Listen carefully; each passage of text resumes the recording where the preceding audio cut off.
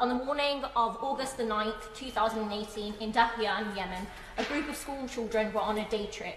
On their way, the bus driver stopped at a market to pick up water for the children. Then, Mr Deputy Speaker, the bus was hit by an airstrike. At least 40 children were killed, along with a dozen adults. A further 63 people were injured. The bomb had been dropped by a Saudi jet, whose authorities later admitted that there were no military targets in the area. The strike was a mistake, they said. Mr Deputy Speaker, this is just one of countless examples of apparent war crimes that have been committed by the Saudi-led coalition in Yemen. It is a conflict that has now lasted five years. More than 100,000 people are estimated to have been violently killed in that time, and the war has triggered the world's worst humanitarian crisis. Last week, the UN warned that more than 20 million Yemenis are facing starvation, including 10 million children. 80% of the population is now dependent on aid, and now an estimated 1 million Yemenis have COVID-19.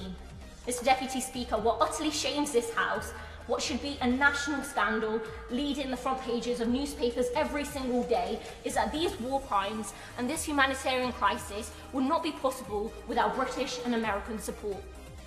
As an expert on the war has observed, bombs supplied by Britain and America are dropped by planes built by Britain and America, flown by pilots trained by Britain and America, and kept in the sky with British and American maintenance.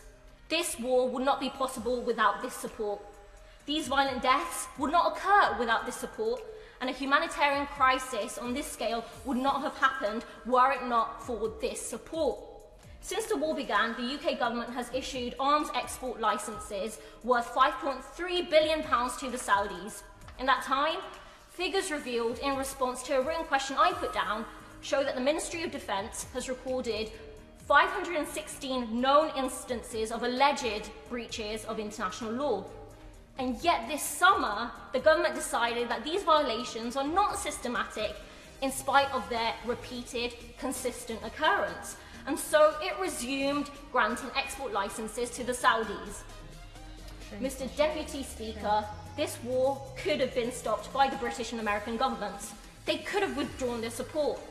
They could have stopped selling the weapons, stopped training the pilots, and stopped maintaining the planes. But they haven't. The British and American governments have put the profits of arms dealers first. They've put their alliance with the Saudi dictatorship ahead of basic human rights of the Yemeni people. Mr Deputy Speaker, this government likes to boast that Britain upholds peace and justice on the world stage. Its record in Yemen is the latest example of what a cruel joke this really is. This government is deeply complicit in this war and in pushing Yemen to catastrophe. So my message is simple. Stop selling arms to Saudi Arabia, stop your support of this horrific war, and truly stand up for peace, justice, and human rights on the world stage. Yeah.